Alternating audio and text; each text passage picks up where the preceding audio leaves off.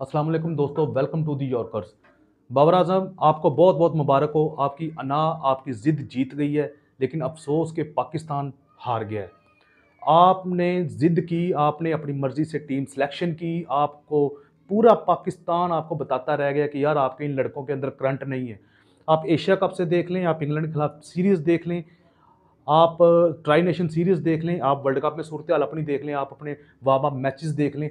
आपके लड़कों के अंदर इतना पोटेंशियल ही नहीं है, आपके लड़कों में इतना करंट ही नहीं है कि वो जाकर पाकिस्तान की नुमाइंदगी कर सके और पाकिस्तान को वर्ल्ड कप जीत कर ला के दे सके।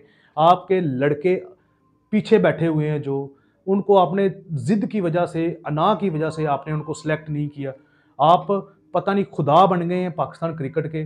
मुझे समझ नहीं आ रही आप पाकिस्तान की आवाम के दिलों के साथ क्यों इतना खेल रहे हैं। मैं बड़े दुखी दिल से ये वीडियो बना रहा हूँ। बाबर आज़म एक अच्छा प्लेयर है, वो एक अपनी जगह पे है। हमें वो नहीं चाहिए। हमें चाहिए पाकिस्तान जीतना चाहिए। यार, इंडिया के खिलाफ आप एक टफ मैच हार गए हो। पहले आपने गंदी बैटिंग की है, शान मसूद और इफ्तार ने कुछ आपको सहारा दिया आपने और रिजवान ने गंद मार के चले गए हो आप आज, फिर आपने गंद मार दिया। भाई, आपने एक और जिद पकड़ी हुई है आप से नहीं खेला जा रहा वन ओपनिंग पोजीशन के ऊपर। तो आपने क्या जिद लगाई हुई है कि आपने ओपनिंग ही करनी है रिजवान के साथ? और आप अपने आप को क्यों नहीं वन डाउन पे लेके आ रहे? आप अपने आप को क्यों वन डाउन पोजीशन पे नहीं खिला रहे? आपके पास ओपनर चार ओपनर हैं आपके पास। आप अपने आप को पता नहीं क्या क्रिकेट का पता नहीं खुदा समझ रहे हो कि क्या भगवान समझ रहे हो? मुझे ये समझ नहीं आ रही।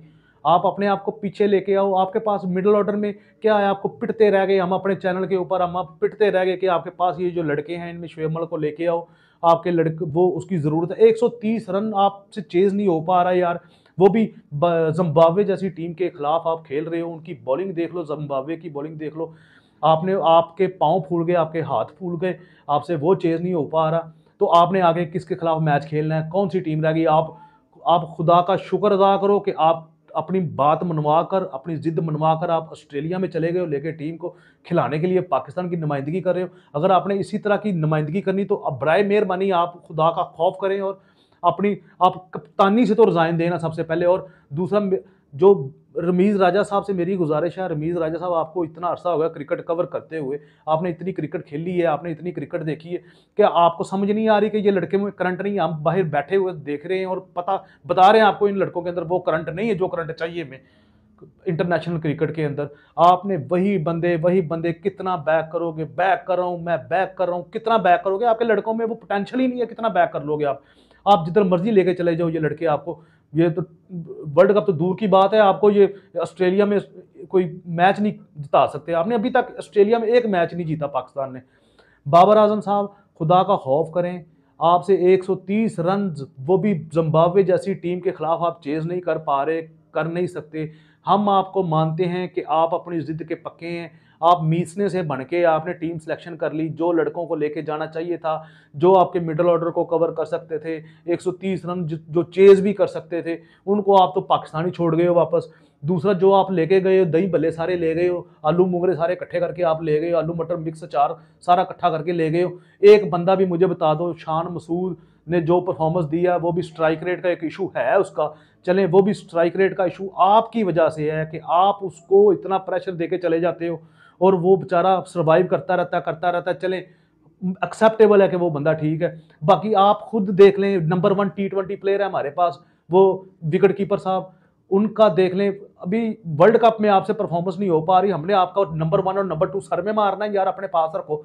दे दो वापस आईसीसी को, हमें पाकिस्तान जीतता हुआ देखना चाहिए। बड़े दुखी दिल से मैं ये वीडियो बना रहा हूँ। मैं बड़े हार्ड लफज इस्तेमाल कर रहा हूँ इसके अंदर। खुदा का खौफ करें यार। आप बर मेहरबानी आपसे नहीं खेला जा रहा, आप, हम आपको कह रहे हैं कि आपके लड़कों के अंदर इतना पोटेंशियल नहीं है। हम अभी आपको बता रहे हैं फिर दोबारा। आपकी मेहरबानी है। सकलैन मुश्ताक साहब, आप ऊपर बैठे हुए हो, उधर बैठे हुए आप कौन सी सिलेक्शन करते हैं? मुझे ये नहीं समझ आ रही। हैदर अली को देख लें। आप, आसफ अली को तो शुक्र किया आपने बाहर बिठा दिया। आपकी मेहरबानी, शुक्रिया आपका, आपने हमारी बात मान ली। हैदर अली की परफॉर्मेंस देखें आप। हैदर अली को हम खुद सपोर्ट कर रहे थे, लेकिन हैदर अली की इतनी गंदी परफॉर्मेंस इतनी गंदी परफॉर्मेंस कि इस बंदे को डोमेस्टिक में भेजा जाए कि ये डोमेस्टिक क्रिकेट खेले जाके दोबारा। इसकी जगह पे आप मोइन खान के वो जो बेटा है आज़म खान, उसको आप क्यों नहीं लेके जा रहे? उसकी परफॉर्मेंस भी आप देखें, वो जो स्पिनर्स लगे होते हैं, उनको वो स्पिनर्स उसके आगे बॉल करवाते हुए डरते हैं मोइन खान के लड़का जो आज़म खान है उसके आगे। उसकी आप परफॉर्मेंस तो देखें, आप, आपसे अच्छी परफॉर्मेंस जितने मिडिल ऑर्डर देख ले लंबा सारा करके आज़म खान जितनी परफॉर्मेंस इनको बताएँ किसकी परफॉर्मेंस है इतनी ज़्यादा। खुदा का खौफ करें यार, अगर आपकी बॉलिंग चल पड़ी है तो सौ तीस रन आपने करना था। अगर ब्राइम, बहुत शुक्रिया शदाब खान का, जिसने विकटें ली आके पाकिस्तान को मैच में वापस लेके आया।